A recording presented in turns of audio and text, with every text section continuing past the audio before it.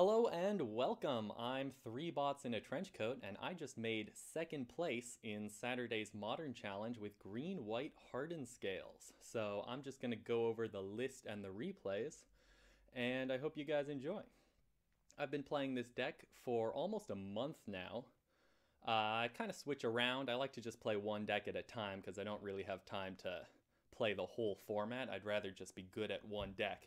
And I gotta say, this deck is incredibly fun, really challenging to play and to play against, and uh, really powerful. In fact, most of all, I think this deck is just underplayed. Uh, probably because it's so hard to get into. You know, there's a lot of complicated lines you've got to learn. But um, hope, hopefully, uh, with my second place finish this weekend, uh, maybe there will be a little uptick in hardened scales players. So if you know the deck, you know that these 22 cards are the core. Those are non-optional. And you need at least 24 lands. So the only real flex slots are these 14. And I opted for a package of four Welding Jar, four Ancient Stirrings, four Esper Sentinel, and two Arcbound Worker, with only two Ozolith in the main deck. Uh, I saw a list that was pretty similar on MTG Goldfish, but I said I really like how streamlined this uh, this package seems to me. It just uh, it just all kind of works together, right? So um, I love Ancient Stirrings. Um, Ancient Stirrings, it does raise your curve a bit, but the power level of Urza's Saga and Arcbound Ravager specifically is so much higher than the rest of your deck that I think there's really no excuse to be playing some number of some amount of card selection to help you find those powerful spells sooner. And then Esper Sentinel is uh, kind of a new card in this uh, that people have been trying out. It's not very synergistic. It's not like Arc- Arcbound Worker where it really works with your plan A, but it's just so good in the grindy matchups uh, which are some of our toughest matchups. So I think you really want those just to hedge against the uh, the more controlling decks. Um, the problem with playing four Ancient Stirrings and four Esper Sentinel is um, mostly in the mana base because uh, you don't get to you don't get to play as many utility lands um, if you need white mana and green mana on turn one, which is why I'm playing for Spire of Industry, and Spire of Industry works really well with the welding jar. And Esper Sentinel also works really well with the welding jar because you want to get an Esper Sentinel down on turn one and protect it. And welding jar also lowers the curve to help offset the uh, downside of ancient stirrings, which is that you're spending a whole mana to not really do anything when you play it. So I think these uh, four four ofs in particular just make sense together to me um, which is why I've been playing this list recently, and uh, it seems to have paid off. Um, the only utility land I'm playing is Pendelhaven, which is obviously a untapped turn one green source for Ancient Stirrings. I think if you're playing four Ancient Stirrings and four Hardened Scales in the main, you really do want 14 untapped green sources. Um, but a lot of lists will play a utility land like Power Depot or um, Llanowar, Reborn, and those are really good cards. But I think um, I think with this list in general, trying to keep the curve as low as possible, I decided to go with just 24 lands and very limited utility lands. Besides, obviously, Inkmoth Nexus and Urza's Saga, which are non-optional. Those are also some of the most powerful cards in the deck. Uh, and somebody commented on the one battlefield forge. Um, you really do want to maximize red mana. I mean, after uh, your utility lands and your colored mana sources, the next thing you want to consider is how much red mana you have access to so that you can turn Zabaz into a sack outlet because this deck really needs more than four sack outlets, I think. You want at least like six sack outlets in the main to function, maybe you play a Witch's Oven, which you can tutor up with Urza's Saga. But if you don't have any sack outlets other than Arcbound Ravager, you have to really place a premium on red mana, which will allow you to count Zabaz as a sack outlet, when uh, when you need one, which is why I'm playing four Spire of Industry and four or and one Battlefield Forge. And then if we take a look at the sideboard, I actually have basically no cards for the controlling matchups like um, like blue white or Grixis Shadow, besides the one of Pithing Needle, which is useful in a in a ton of different matchups. Um, and I made this decision because the deck is basically pre-boarded for these matchups with the four Esper Sentinels in the main. I really don't want to be cutting Ancient Stirrings, Esper Sentinel, or Welding Jar in these grindy matchups because one of the main ways that you win against Grixis Shadow is with turn one Esper Sentinel into Welding Jar, making it difficult for them to remove and difficult for them to play spells without uh, falling behind on card advantage. And this opens up more sideboard slots for some of the uh, fun ofs that you sometimes see in the main deck, like Shadow Spear, and then a Grafdigger's Cage, which um, you don't bring in very often, but when you do, it's just so nice to be able to tutor for it with Urza's Saga. And also seven uh, ways to remove permanents. Most lists play six in the board, and uh, I really like having the seventh, the extra Path to Exile against Reanimator and Hammer Time specifically. Hammer Time doesn't feel like it should be a bad matchup, but in my experience, it's actually my worst matchup. I've played against it 15 times. It's the number one deck that I've played against on MTGO, and uh, it's, I think, the worst matchup of any of them except for more obscure decks. It's definitely the my worst matchup uh, of any of the decks that you really expect to see in a big tournament. So I really like having that one extra removal spell. So let's go over the replays. I'm just going to do this all in one take, but if you like what you see, um, and this video gets 100 likes, maybe I'll do some live gameplay with commentary probably just going to post it to YouTube.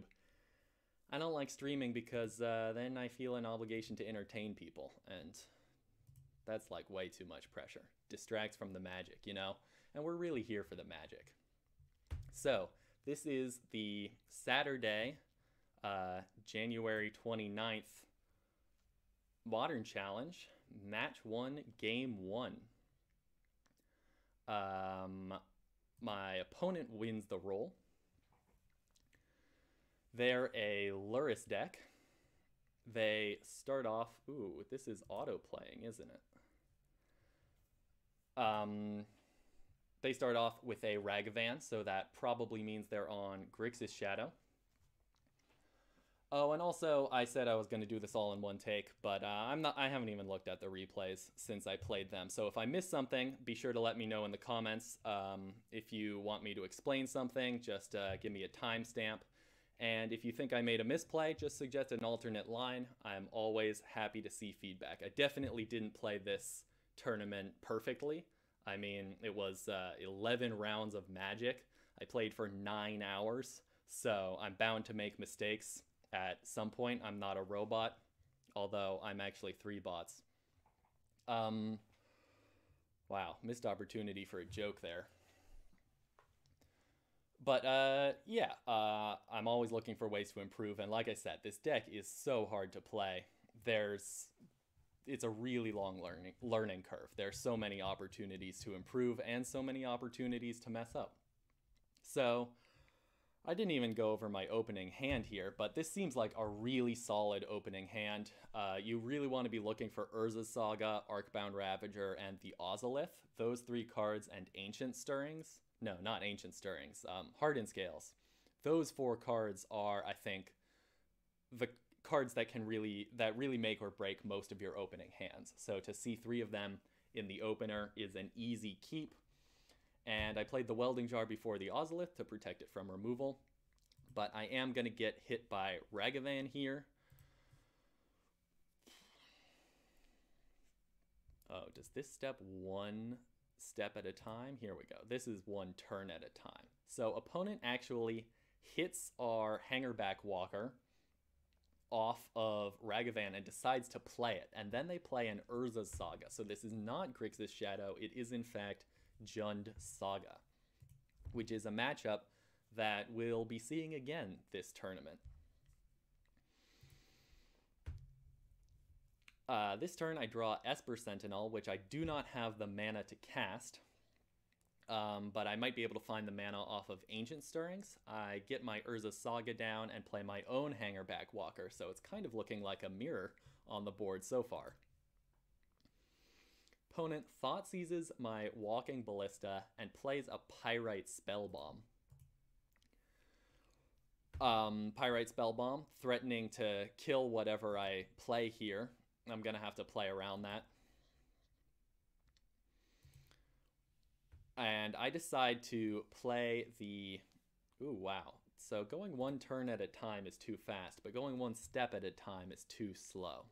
Replays are hard. But anyway, I do find a white source off of the Ancient Stirrings and land an Esper Sentinel. And then I have mana up to activate Hangarback Walker if I need to. Whereas my opponent activates activates their Hangarback at their end of turn.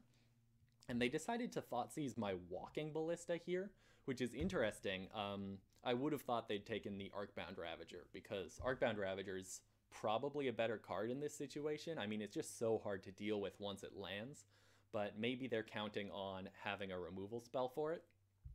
So I might want to play around their removal spell in hand, because Jund Saga does play a lot of removal. All right, let's try stepping through a few steps at a time. All right, so they decide to get Shadow Spear with their Urza Saga. That's one thing that's always, excuse me. That's one thing that's always uh, amused me about Jund Saga is that like Urza Saga is so much better in my deck than it is in theirs. Of course, they get to recur it with Wrenn and 6, but getting a Shadow Spear on this board with a Pyrite Spellbomb in play, it just feels like there should be there should be more impactful one mana artifacts that they could be getting, but I guess not. They decide to equip their Ragavan, which is going to allow them to get in with uh, the Ragavan and get a trigger off of it, but I decide to block and activate the Hangarback anyway um, in the hopes of killing the Ragavan. I think they're gonna spell bomb it in response, and I welding jar it in response, which allows me to resolve the hangarback trigger, but it does remove the hangarback from combat. Something often overlooked is that regeneration removes creatures from combat, which is gonna allow their Ragavan to survive and create treasures another day. They exile a land, and our saga is gonna um, come off of its third mode here. I decided to tap it for mana rather than making it construct because we've got three powerful cards in hand and uh, I think we have more powerful stuff to be doing this turn. I lead with an Ancient Stirrings and just take another land.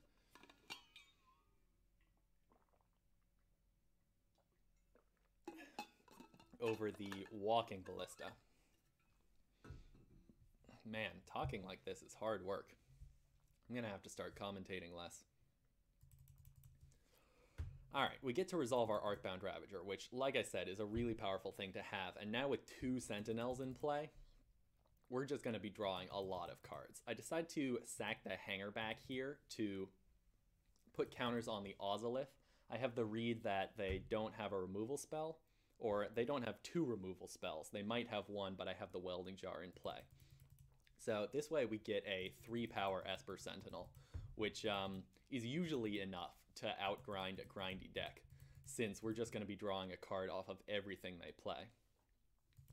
I do decide to block the Ragavan here. I don't know if that was a misplay or not, but I decide to block and regenerate with Welding Jar. I should I should assume that they have a removal here, but I guess the uh, combat actually goes through. And worst case scenario, the counters just end up on the Ozolith anyway. My opponent puts Lurrus in hand. This is the beginning of the end for them. I mean, we are really outstripping them on board, and they don't have anything better than Lurrus to play. Walking Ballista is the draw for turn. I cast it for x equals 1. That's going to be really good to put counters on if um, if any of my creatures with counters get removed.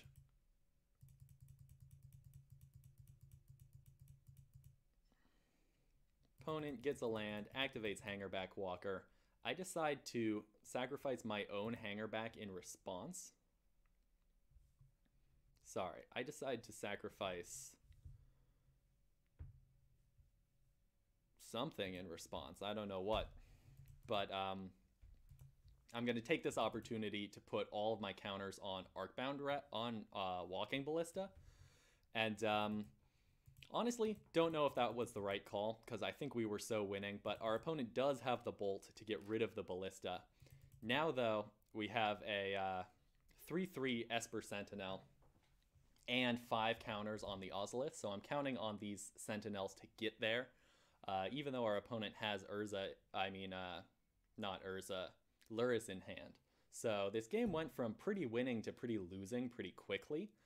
Um, I think sacking all of the artifacts to Ravager there was a bit of a misplay. And my opponent is complaining that um, the Esper Sentinel bug, which everybody should know about, stole their mana. See, they uh, there were two Esper Sentinels on the stack, so they tapped one mana for the one mana Esper Sentinel trigger. But the trigger on the stack was the three mana Esper Sentinel trigger. Since they did not have enough mana to pay for it, they had to let the uh, three mana trigger go unpaid. But that actually um, removed the one mana that they had floating for the one mana trigger from their mana pool, even though they hadn't paid for anything. And then they didn't have the mana to let me draw, uh, to stop me from drawing a card off of the one mana Sentinel. So this should be a lesson to everybody. If there's an Esper Sentinel trigger on the stack, do not float your mana. Uh, wait for the trigger to resolve and then tap your lands for mana if you intend to pay for it. Uh, the mana will show up on the side here and you can click yes to pay for it. Um, you can tap your lands as the trigger is resolving. You don't have to do it beforehand. And this also plays around uh, abilities that pump the Esper Sentinel's power uh, in between the triggering and the resolving of the Esper Sentinel. Something some people don't know is that if a 1 1 Esper Sentinel triggers off of a spell, but then you pump it up to, say, a 5 5, you have to pay 5 mana for that Esper Sentinel trigger if you want to stop your opponent from drawing a card. So there's no reason you should ever float mana before the trigger has actually resolved. And I use this trick with Pendelhaven or Arcbound Ravager or something to pump up the Esper Sentinel. I use that quite a bit over the course of this challenge. All right, so it's uh, a 5 5 Hangarback Walker versus what's about to be 9 power worth of Esper Sentinels. Opponent has Lurrus in play, which is pretty scary. We draw Welding Jar, play Ancient Stirrings, and put Lurrus in hand. Uh, 10 power worth of Esper Sentinels. And so I am going to get to draw a card here off of the um, off of the 7-7 Esper Sentinel, but my opponent is going to pay for the 3-3 Esper Sentinel. We draw another Esper Sentinel. We get our Lurrus down. Our opponent is going to Pyrite Spellbomb it. Um, but at least we get a 2-2 Walking Ballista out of it, and Walking Ballista with the Ozolith in play um, is going to be pretty good, but actually I just use the Ozolith to ping down my opponent's Lurrus. They're going to use their Pyrite Spell Bomb to ping down my Lurrus. And now we're back to where we started, except the Lurruses are not on the board. So, three Esper Sentinels versus a steadily growing Hangarback Walker. And we are drawing bricks. Not a good sign. Opponent's Hangerback Walker now up to an 8-8, big enough to start attacking. We decide to double block here. Opponent does not have a removal spell, but they do get seven 1-1 flyers. We make a big hangarback walker, which if we can sacrifice it, might allow us to start blocking. but our opponent does have the lightning bolt for the win. So we lost game one of the challenge.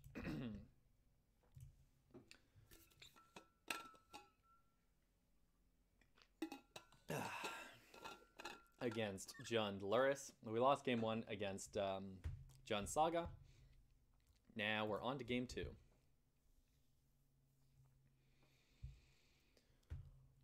So I'm going to be on the play. We both reveal Lurrus. Oh, pause. Didn't mean to click that.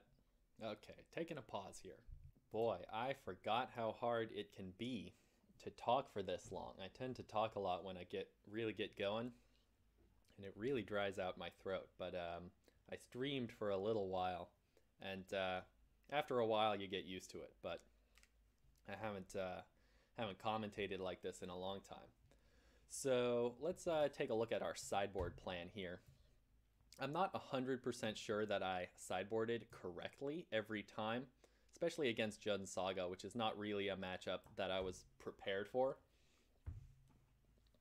But this match, we decided to board out uh, all four Ancient Stirrings, three Welding Jars, one Arcbound Worker, and one Zabaz in exchange for the Pithing Needle, the three Prismatic Endings, um, the two Nature's Claims,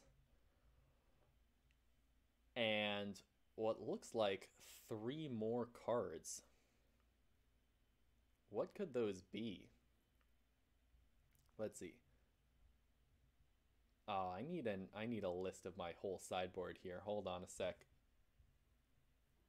Right, so we decided to bring in the um, prismatic endings, the nature's claims, the pithing needle, the two relics of progenitus, and the shadow spear we definitely overboarded a little bit here. Um, but I'm not going to figure out what the correct sideboard plan is right now. And we definitely do fiddle around with the sideboard plan over the various games against Jund Saga this match. Um, so anyway, we decide to keep um, Razorverge Thicket, Branchloft Pathway, Pithing Needle, which we can use to name engineered explosives, an Arcbound Ravager and a Walking Ballista, and two uh, removal spells on the play. Opponent opens up with turn one Thoughtseize, taking our Walking Ballista, and we respond with an Arc, Arcbound Ravager. Now, we have nothing to sack to this Ravager and no way to protect it. And our opponent does just open right up with the Engineered Explosives on one, which is getting blanked by this Pithing Needle naming Engineered Explosives. Uh, but they decide to play it anyway. We have the removal spell for their uh, DRC here. And we also have the Nature's Claim, which I know I'm going to use on the Urza's Saga. So actually, it would have been correct here to claim in response to the Saga trigger so that they could not tap it for mana. As it is, they tap the uh, Saga to play a Tarmogoyf, and now they have one mana up. Um, we have the prismatic ending for our for our opponent's Tarmogoyf, so I'm not too worried about that here. Opponent gets in for six. We draw a Hangarback Walker for turn, uh, and opponent does Inquisition our prismatic ending. So that's maybe one reason that we should have exiled the Tarmogoyf. But um, I'm still not too worried. We get Lurrus in hand. We have uh, Hangarback that we can activate. And um, we do decide to activate and sack it to the Ravager as a bit of a mini chump block. We can replay it this turn using Lurrus. So, uh, Urza Saga, great draw for turn. Play the Saga, play the Lurrus, replay the Hangarback Walker. and now our board is looking pretty good. Our opponent is going to get to make a construct and um, get a Pyrite spell bomb to kill our Lurrus, and get a Lurrus of their own. So we're not 100% winning here, but we've got a pretty good, a pretty decent board. We're about to get our Urza's Saga resolved and maybe make a couple of constructs. And we're just hoping to draw some way to deal with our opponent's Lurrus. They do Pithing Needle Um, so in response, I'm going to activate all of my activated abilities, the Hangarback Walker, the Urza Saga, and the Arcbound Ravager, since I don't know what they're going to name with Pithing Needle. And um, then I'm going to use the Arcbound Ravager to put counters on Esper Sentinel so that our opponent will be unable to pay for this 4-4 Sentinel. And in fact, they're going to have a hard time casting non-creature spells with only 4 lands in play and a 4-4 Sentinel. They do get their Lurrus down though, and they replay the Pyrite Spellbomb. We get another construct, and um, now we have Nature's Claim, which we can use on the Pithing Needle at instant speed if we ever do draw a Walking Ballista. And of course, we're attacking with a 10-10 trample lifelink while our opponent's at 13, so it's not all bad. Um, we do decide to spend the welding jar to kill our opponent's construct, but they cannot beat our 9-9 trample lifelink. Uh, on to game three of match one.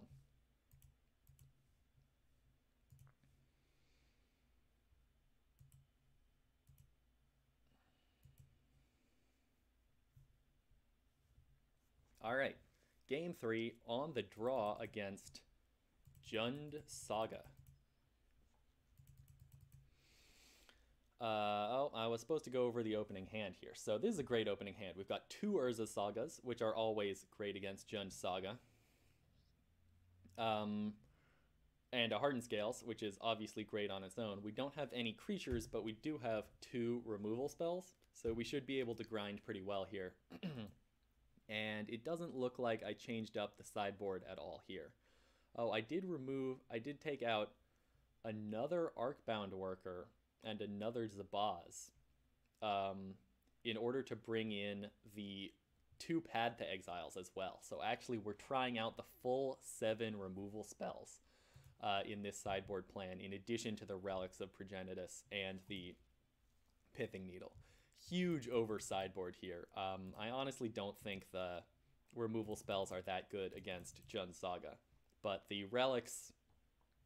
Oh, and I don't think the um, Shadow Spear is that good either. Although it did win us that last game, I think maybe I wouldn't sideboard in the Shadow Spear just because you want more threats and less do nothing cards against uh, against the grindy decks opponent seems to have a really slow draw here. They're just um, putting Lurrus in hand on turn three, which is actually not going to do anything while I have a Relic in play. Um, I'm just playing my Saga, starting to make some constructs, trying to keep some cards in hand and get maximum value out of my Sagas to try and get ahead while our opponent is floundering and I get Pithing Needle, naming Engineered Explosives to keep these constructs alive. Opponent has Kolaghan's Command. And um, I do let the Relic die here. I think this was just a misclick. Opponent shocks my construct and kills my Relic, and I was supposed to activate it to draw a card, but um, must have been a misclick. Opponent has Urza's Saga, Wrenn and Six, and uh, Nurturing Peatland for their Wrenn and Six. So this is uh, honestly not a great situation for us, but we do have six cards in hand and an Urza's Saga that's about to resolve, or it's um, about to start making constructs.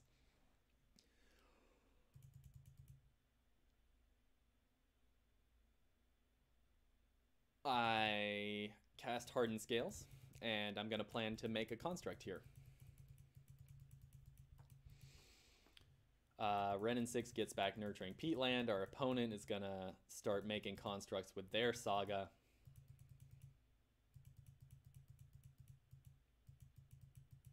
Opponent spell bombs our construct. We make a construct. We get another Relic of Progenitus to try and shut down their Wrenn and 6 grind plan. and I Nature's Claim the Urza Saga in response to the activation. Plus, crack the relic so that they can't uh, can't replay Urza's Saga with their and Six. but they are going to get to keep playing Nurturing Peatland with their Wrenn and 6. So I don't know if there was a way I could have done that, but Pithing Needle stopping Engineered Explosives for the second time this match. Remember to bring in Pithing Needle against uh, Jund and also Grixis Shadow for that very reason. Engineered Explosives can be a real blowout against us. Opponent decides to uh, chump block with their Construct. Honestly, not sure about that. Um, since this Ravager would not have been lethal, oh, was I actually attacking the Wrenn and 6? That makes sense. So they decide to keep the Wrenn and 6 around and just um, sacrifice the Construct token.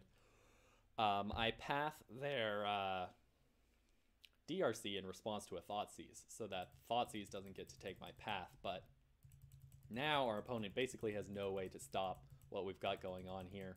Arcbound Ravager is a pretty good draw, and um, as the clock is ticking down, I'm feeling like this is a pretty good position for us. Opponent's on five cards in hand, but we do have Lurrus in hand, and we get a Hangarback activation here. 4-5 Tarmogoyf, another Wrenn and 6. Looks like our opponent does not have a discard spell, so this Lurrus is gonna get there. And we do um,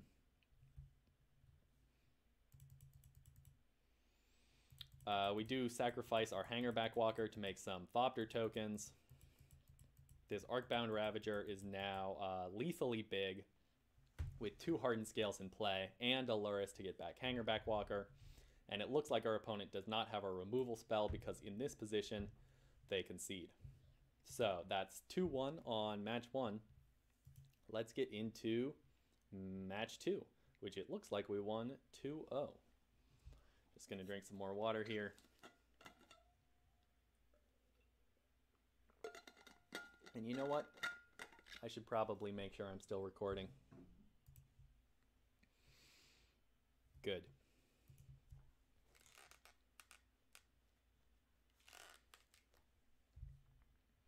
All right, round two. Uh, we won the die roll this time and uh, we are up against a no companion deck. We decide to keep three sagas, two welding jars, a Razorverge Thicket, and a Walking Ballista. This is a really slow hand, but really grindy. So we're hoping our opponent is a slower opponent. And since they didn't reveal Lurrus, I think it's a pretty safe bet that they are. And it looks like we're up against Tron. So um, Ancient Stirring's the draw for the turn um, I'm gonna Stirrings into an Arcbound Ravager, since we already have a Ballista. Um, get down in Urza's Saga, and start grinding. I would definitely have liked a faster hand against a Tron opponent, but with the draw of Hardened Scales, this hand is actually shaping up to be faster than I thought it was. Opponent does have turn 3 Tron, but Karn Liberated is actually not going to be good enough here. I don't think. Um, they they decide to exile our walking ballista, which if they didn't, we would have just won on the spot with Ravager plus ballista. As it is, I ping the uh, Karn with the last ballista um, counter just to make sure it can't minus next turn. Obviously, we are going to have to eat a Karn plus, but I do think I can win um, despite my opponent's Karn. I tap the Saga for mana and decide to get the Ozolith, which is going to be great with this Ravager, Zabaz, Hardened Scales combination here. Play another Saga, get down my whole hand, and now we're threatening lethal on our opponent in multiple ways here. So unless they have exactly Oblivion Stone, I don't think there's going to be anything they can do to stop it. Opponent has a 4-4 walking ballista. So this is a pretty interesting situation. Um, they can kill our Ravager or our Zabaz if we try and put counters on either of them, and they can also block. So I remember this was a pretty interesting puzzle. Um, see if you can figure it out in that situation before seeing the answer. I guess it's a little too late now. But what I ended up doing was getting Zabaz with the um, Urza's Saga. and having two Zabazes in play lets you get a modular trigger off of one of them with the legend rule. Opponent decides not to kill in response to the modular trigger, and obviously we have two uh, welding jars as well, so actually killing either one of these two with the walking ballista wouldn't be such a problem. Um, as soon as this Arcbound Ravager gets to be a 6-6, they can no longer kill it with Ballista, so by sacking the welding jar um, to grow the Arcbound Ravager, uh, I think I, I, I think we'd still kill them if they were to ballista the Ravager in response here, but they do not. So at this point, we have two lethal attackers, and it doesn't matter which one they block. They can't kill either of them, and I can use the Arcbound Ravager sacrifice ability to put the counters on the other one. And our Tron opponent is at minus 7 life. Game 2 against uh, Mono Green Tron on the draw. Uh, we decide to board out the Esper Sentinels they're just too slow against Tron. We really want to just go um, as fast as possible and execute our plan A as fast as possible. The only thing we board in is the two copies of Nature's Claim, uh, one Pithing Needle, and one Shadowspear, since uh, none of these cards are going to be any good against Tron. Maybe you could board in the Prismatic Ending over the Shadowspear, but I think the Shadowspear is going to make us a little bit faster and it's probably going to be better than Esper Sentinel if our opponent has like a chump blocker of some kind. We reveal Lurrus. Oh, and we do take a mulligan there. I, I have to stop clicking through the um, the uh, opening hands because those are actually the most interesting part of the game. Anyway, um, I think we're going to keep this. Zabaz, Ravager, Ozolith, and two Welding Jars is actually probably a turn three kill or if our opponent has no interaction.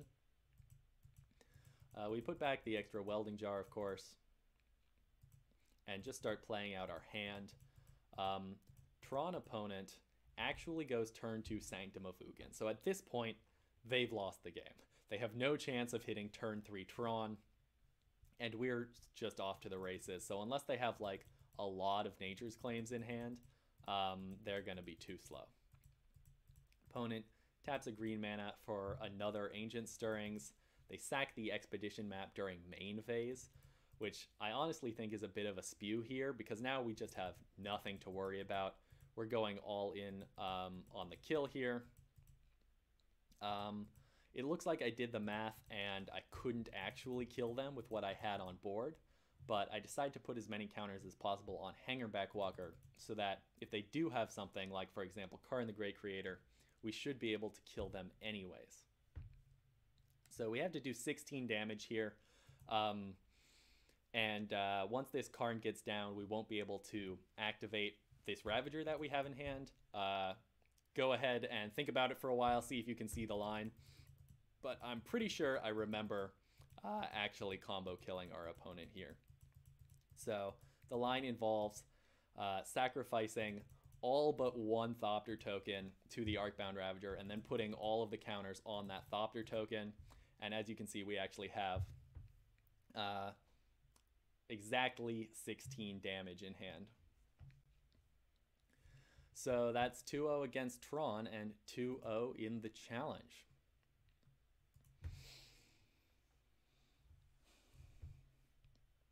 Round three against Joker 10289. I believe I've played against Joker before. All right. Um, opening seven. Our opponent is on the play, and they take a mulligan. This hand has uh, three colorful cards and no colorful lands. So even though it's got a lot of power here, I think this is going to be a mulligan. And it looks like I do mulligan that one. This hand has an Urza Saga, but not a lot of power. We are on a Multa 6, so I think I'm going to keep it here. And that is what I end up doing. putting back the Inkmoth Nexus so that uh, at least we have a decent um, we have a decent lineup here. Opponent opens with Island Mishra's Bauble. This is a sure sign of blue-red Murktide, uh, and also no companion, which I think is generally a pretty good matchup for us. Um, Welding Jar for the draw. That's going to combo really well with our Esper Sentinel. And Esper Sentinel, obviously, really good against Blue Red Murktide because they rely so heavily on their spells. Uh, we're going to play an Ozolith here to just kill our opponent's Ragavan. And um, the theme of this game is just going to be to keep this Esper Sentinel alive as long as possible. Our opponent casts Expressive Iteration on turn 3 without playing a third land. And uh, drawing cards off this Esper Sentinel just feels so good. There's no way, there's no way our Murktide opponent is going to be able to come back from this. They do play a 5-5 Murktide Regent, um, but we are making some 5-5 constructs. We have an Ozolith in play. Now it's a 6-6 construct. Opponent can't block it. We Alpha Strike. Uh, opponent lets us draw off that Lightning Bolt, which uh, is pretty surprising, honestly. They do have Petty Theft to trade off uh, to actually keep the Murktide alive. But we have Walking Ballista, uh, which we can use to get the last counter off that Murktide. Opponent has Blood Moon. Uh, Blood Moon is not going to save them. It is going to turn off this Ancient Stirrings. Um, and we we do um, have trouble tapping our mana here. Uh, the internet at the house that I was staying at when I played this challenge was really shoddy, and that did end up coming into play at times, but um, it looks like we were pretty good on time uh, at the time that that happened. So we didn't throw away too much time um, having to retap our mana. And it looks like our opponent is not drawing well enough um, to outgrind what we've got in play because they concede. This is uh, game two of round three against uh, Murktide. Uh, we decided to board out the Ancient Stirrings um, and the Welding Jars, which honestly I think is a bit of a mistake um, since Saga or, or since the Esper Sentinel plus Welding Jar is just so good against our opponent's deck. But Path to Exiles and um, Prismatic Endings are also pretty decent at just dealing with what they have in play because um, being able to prismatic ending your opponent's uh, DRC can really slow them down. And obviously, Path is good against Murktide Regent. We boarded out one Urza Saga here. I do this quite a bit in the challenge, and honestly, I'm not sure if boarding out Urza Saga is ever correct, even if you expect your opponent to have a lot of um, Alpine Moons. But um, especially since we're boarding in uh, prismatic endings here, which can deal with Alpine Moon, I think you probably shouldn't board out Urza's Saga. Like I said at the beginning, the build that I'm playing here is basically pre-boarded for the grindy matchups. So uh, over sideboarding in these matchups is going to be uh, a bad habit of mine that we'll see come up again and again.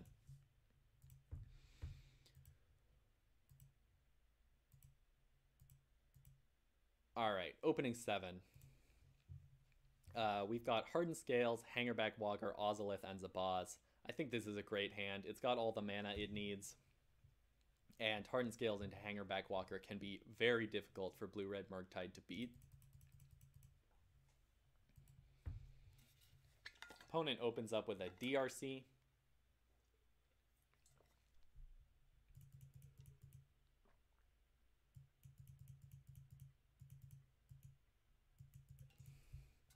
They do have engineered explosives on one.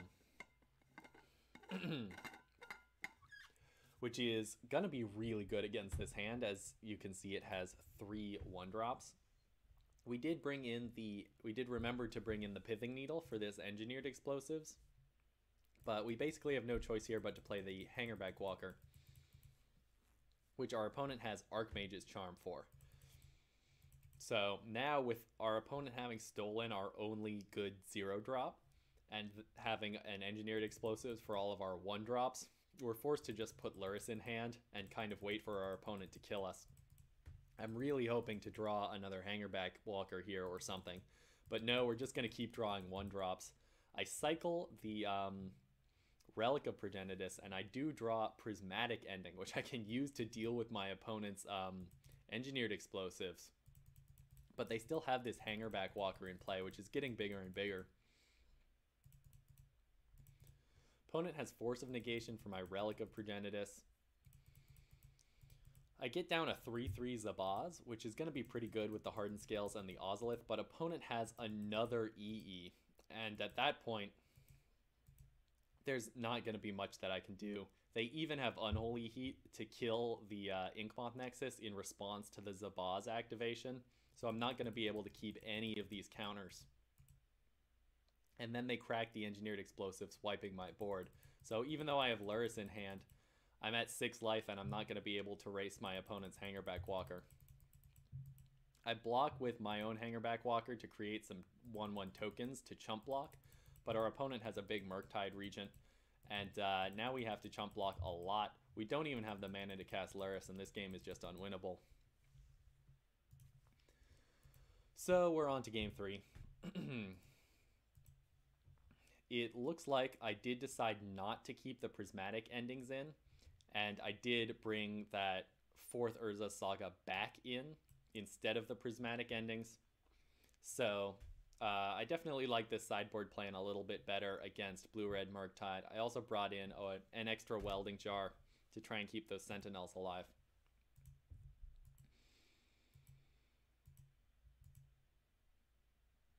This is an opening hand that has an Esper Sentinel and it has an Urza Saga. And it has, oh, it's got Sentinel and Welding Jar. So, like I said, this is a great, great plan against um, Blue Red Murktide, especially on the play. Opponent mulligans to six, and I really don't see them being able to beat this. They do uh, pay for the Esper Sentinel on their first turn, uh, but honestly, it just feels so good for our opponent to be spending their entire turn playing a Mishra's Bauble, right? They're basically accomplishing nothing. Here we um, we do pump the Esper Sentinel in response to uh, our opponent floating mana here, and they are not going to have anything to do with that extra mana once they let the Esper Sentinel go unpaid. And this is one of the reasons why Pendelhaven is such a good utility land in these Esper Sentinel builds. That was an entirely wasted mana for our opponent. Um, we don't want to play these one drops just yet because of our opponent's engineered explosives, but we can get Pithing Needle if this Urza, Urza's Saga ever does its thing.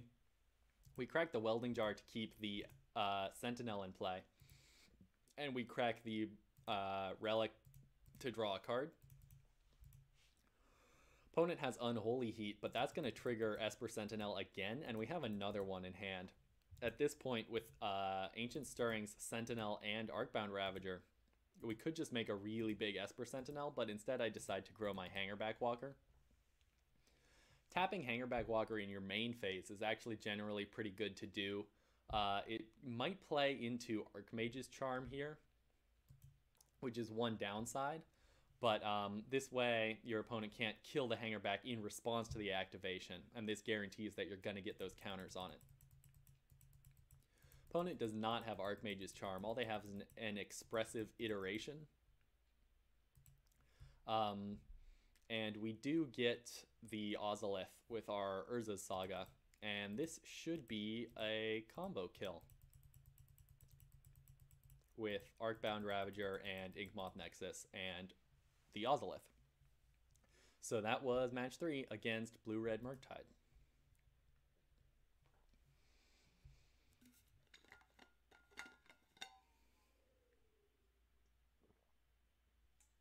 Ah. yeah, I really got to warm up my voice if I'm going to make any more content. Talking like this is just ruining my throat. but I'm having fun, so on we go. Round four against Chase and then some binary. Uh, looks like I am going to be on the play for round four. Opponent reveals Lurrus. I think you have to assume it's going to be Grixis Shadow since that's the most played Lurrus deck. Or actually, Hammer Time is the most played Lurrus deck, but Grixis Shadow is the Lurrus deck that we fear most. This hand can cast Esper Sentinel, um, and it's got a nice curve with some powerful cards in it and two Urza Sagas. I love it.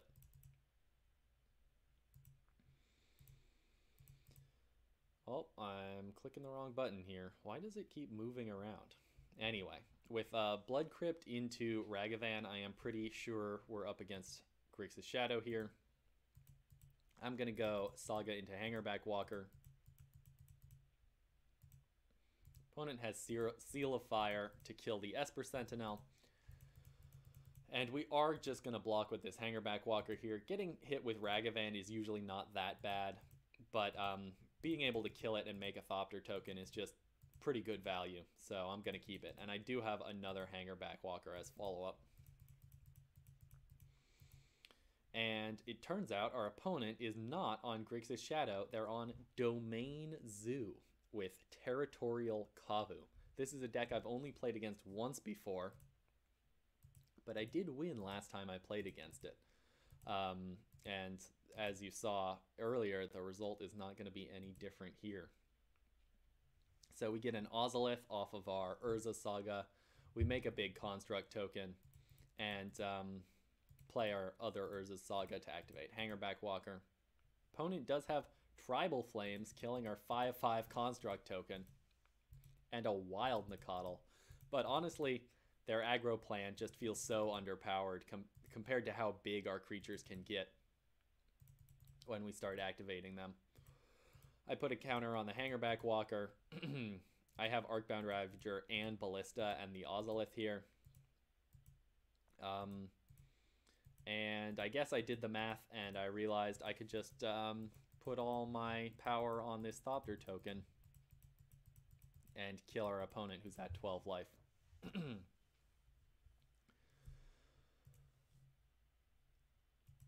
Game two against Domain Zoo. We board in uh, all of our removal spells, including the Nature's Claims, um, which are useful against some. Oh, uh, against uh, um, Scion of Draco. Scion of Draco is a two mana, 4 4 flying with powerful abilities, and it's an artifact creature in the Domain Zoo deck. So that's the only thing I think that uh, Nature's Claim is good against besides like Alpine Moon. We do board out all of the Esper Sentinels and all of the Ancient Stirrings for those removal spells. Opponent is going to be on the play, but it's not going to end up mattering. They open up with a 1-1 Wild Nacatl. And I honestly just can't help but laugh I'm sure Domain Zoo is good against some things, just not Hardened Scales. With uh, the Ozolith and a Hardened Scales in play, it's kind of hard to imagine losing this game. We get down our Zabaz and our Walking Ballista. Actually, no, we don't. We just decide to make a Construct token. That's good too, I guess. They kill it with Seal of Fire. And they do play a 7 7 Scourge of the Skyclaves. I'm I haven't totally won here, but I do have Zabaz, um, which I can use with the other Zabaz to trigger modular, and I do have enough mana here to activate the boss, and that's going to put a lethal amount of counters on this Walking Ballista in combination with the Ozolith. Um, you know i should i should i should pause whenever you know there's a line like this so that you can figure it out for yourself. But um it might be fun to just take screenshots of these uh, interesting combo kill moments and uh, make puzzles out of them. Maybe i'll do that at some point so that was round four against domain zoo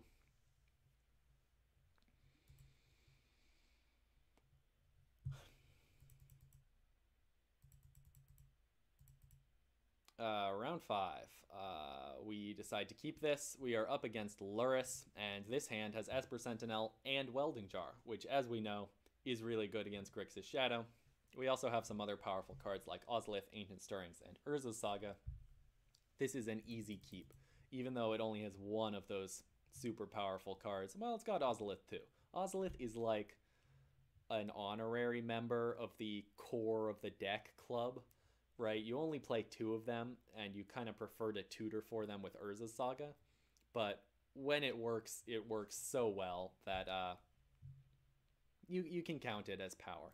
The power four of uh, of Hardened Scales: Ozolith, Saga, Arcbound Ravager, and Hardened Scales itself. Speaking of which, we draw the Arcbound Ravager. Uh, remember to play your Welding Jar before your Esper Sentinel in case your opponent has Force of Vigor, and it looks like we are up against Grixis Shadow again. We do regenerate the Esper Sentinel, draw a card. Opponent has Fatal Push, but we still got a 3 for 2 there. And our opponent is pretty low on cards in hand. We're just going to get down the Ozolith and an Arcbound Worker here. Opponent has another expressive iteration, but it looks like they don't have a third land. And this is not looking very good for them. Um, since our hand is so powerful, I'm not going to bother making a construct. I'm just going to cast the Ancient Stirrings and the Arcbound Ravager, finding a Walking Ballista, and I think we are set up for the kill next turn, especially if our opponent keeps doing damage to their own life total. They do have Kolaghan's command here, uh, which is going to wipe our board, but before it does, I'm going to um, activate the Arcbound Ravager, and this results in uh, one or two extra counters getting put on the Ozolith after the resolution. And with the ability to get Zabaz off of Urza's Saga, I think the combination of Arcbound Ravager and the Ozolith here is gonna actually be the kill. Yep, there it is. It just it just feels so good when your opponent's like, I just wiped your board, and now you've got a lethal walking ballista in play. This deck is this deck is actually insane. Like like our opponent wiped our board except for an Ozolith with four counters on it, and then we just won the game with with no creatures in play. From from 0 to 60 from 0 to dead.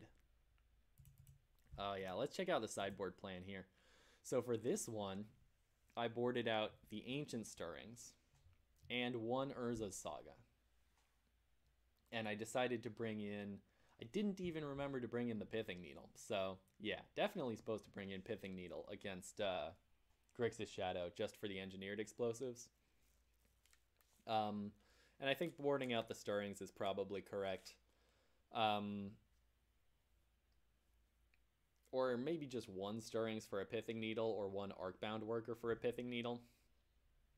But honestly, like, I'm not sure if um, prismatic ending is even worth it against Grixis Shadow. It does exile stuff, which makes it hard to replay with Lurrus.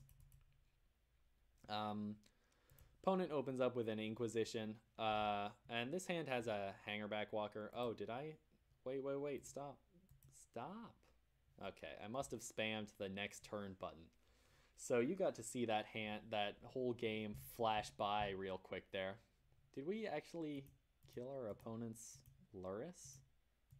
I guess okay. So they put Lurrus in hand. Um, we got they they also inquisitioned our Ozolith, but now we have a Hangarback Walker with a Hardened Scales in play and two Arcbound Ravagers and two Welding Jars. Um, and our opponent's at 10 life do we just have the kill on board? I think we just have the kill on board right here, right now. Um, but instead, I decide to activate Hangarback Walker and play an Arcbound Ravager. This uh, this does play around removal a little bit better, I think.